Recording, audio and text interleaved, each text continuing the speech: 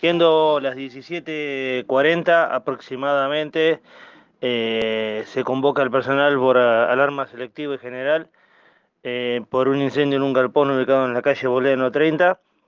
Eh, en el mismo se encontraba acopios de, plásticos, cartones, artículos de tapitas descartables, también plásticas, todo material de alta combustión. También había cartones apilados, eh, para prensados para, su venta también.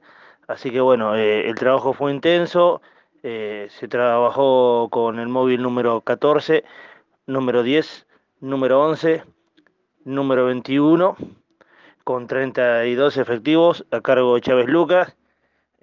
siendo las 21 y 15 horas, se regresó al cuartel.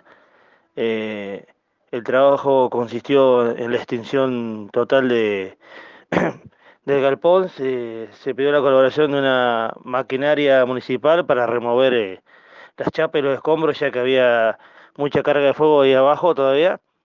Así que bueno, también se, controló que, el fuego, ya que de un lado había una pared, que, se encontraba una vivienda, y sobre los otros dos lados había terrenos linderos, eh, baldíos, con mucha mucho pastizal alto, bueno, y quedaban a patio de otras casas, así que bueno, también se, controló eso, se, se circunscribió y, se controló, así que bueno, las tareas fueron bastante complejas, pero por suerte se pudo extinguir por total y no hubo que lamentar ningún tipo de víctima, solamente las pérdidas materiales.